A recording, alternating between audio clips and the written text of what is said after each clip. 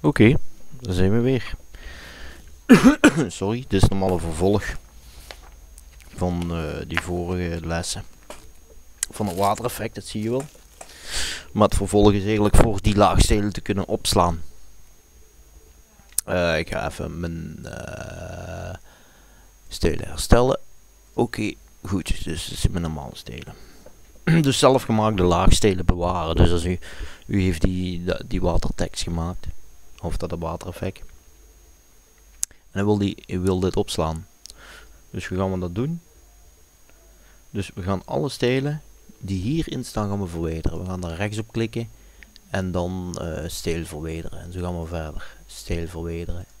Steel verwijderen. Dus je, je zorgt dat je nu stelen staat. Hè. Dus als je stelen niet hebt, moet je naar venster en dan gaat je naar stelen hier beneden. Die klik je aan.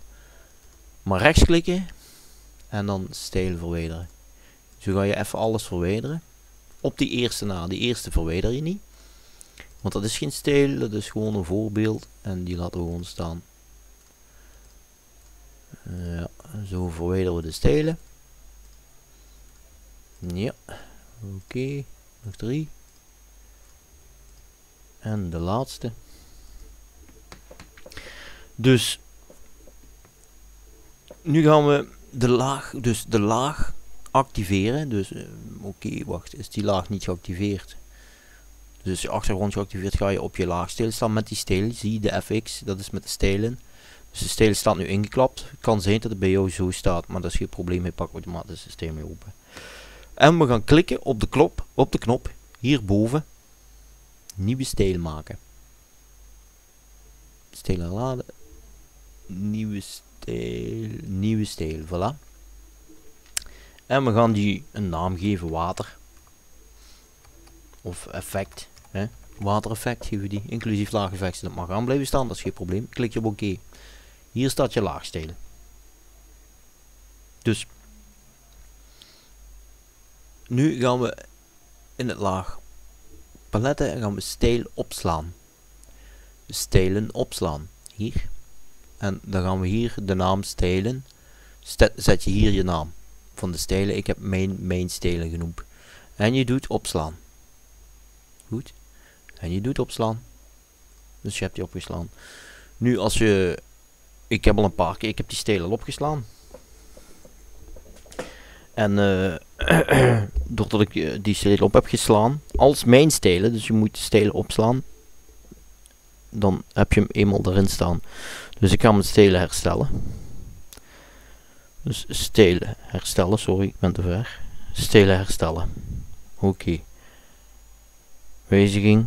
In huidige stijlen opslaan voordat u wijziging vervangt. Nee, ik wil die niet opslaan. Dus ik kan even Photoshop sleten. Nee. Dus ik sleet Photoshop. En ik ga Photoshop CS4 natuurlijk, niet CS7. Even kijken. Terug openen. Goed, ik open die. Is even aan laden. Oké, nu is die open. Nu ga ik bestand nieuw. Ik klik op oké, want die staat nog juist. 50-50. Goed. En nu wil ik die stijl natuurlijk aanbrengen. Maar, wat we gaan zeggen, ik heb een achtergrond is niet mooi. Hè, je, kunt, je kunt natuurlijk eens gewoon een achtergrond maken. Of, of, of als je watereffect op wit doet, is niet zo mooi. Dus ik ga even bewerken, vullen. Ik ga me met patroon vullen. Nog altijd van die instellingen. Hè, je weet wel. Oké, dat is dat patroon. Dan ga ik een kleur voorlopig toepassen. Van rood, geel, groen, iets wat je mooi vindt, paars, oké. En nu ga ik, wat wil ik? Ik wil een tekst erop zetten. Dus ik ga een tekst selecteren, die zet ik erop. En ik ga die noemen, natuurlijk een beetje reclame voor mij. Hè. In het zwarte, niet vergeten voor het zwart te zetten, zo. Ik ga Ctrl-T doen. En ik ga die Ctrl-Shift, ik ga Shift en Alt inhouden. Zo, ik kan wat lang trekken. Zo enter, bevestigen. Nu weet ik niet als je het op een, een tekststijl kunt toepassen. Dat weet ik niet. Maar nu gaan we naar stijlen toe. Rechts. En we gaan... Ja, mijn stijlen staat hier nu beneden, zie je. Dus die staat al automatisch. Mijn stijlen. Die gaat er bij jou ook staan als je dit op hebt geslaan als onder stijl. Oké, we doen dat zo in de vorige manier. Mijn stijlen. Oké. En hier staat je stijl. Nu ga ik zien als we het ook kunnen toevoegen op een tekstpagina. En je kunt het toevoegen op een tekstpagina, zie je. Dus je hoeft je, je, je tekst niet uh, om te zetten naar pixels. Dus dat hoeft niet. Kun je wel doen, maar dat is allemaal geen probleem. En nu is hij wel bewerkbaar. Nu kun je in dezelfde laag kun je druppels toebrengen. Maar met zwart penseel. Voilà, zwart penseel. Kun je wel druppeltjes toebrengen, zie je. Voilà. En dan heb je het druppeleffect. Hè. Flashy flash. Ik ben maar aan het kribbelen. En zo kun je je laag stijlen. Dus je zet een nieuwe stijl op. Of een nieuwe, uh, sorry, een nieuwe lege laag. En je kunt er wat op kribbelen. Hè. Voilà. Wat wil nu zeggen, die laagstijl is nog niet actief.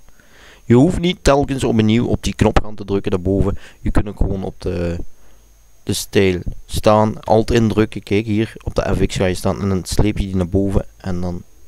Ah, oké, sorry. Foutje van mij. Dus dat gaat niet.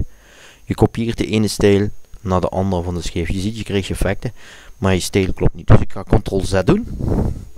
Ik moet mijn knop pakken en op mijn stijl zetten. Oh nee, Ctrl Z, fout. Ja, hier heb ik gekilld. Dus ik pak mijn laagstijl en ik sleep die naar, naar mijn laag. En dan is die wel goed. Als die op mijn laag zet, zie je.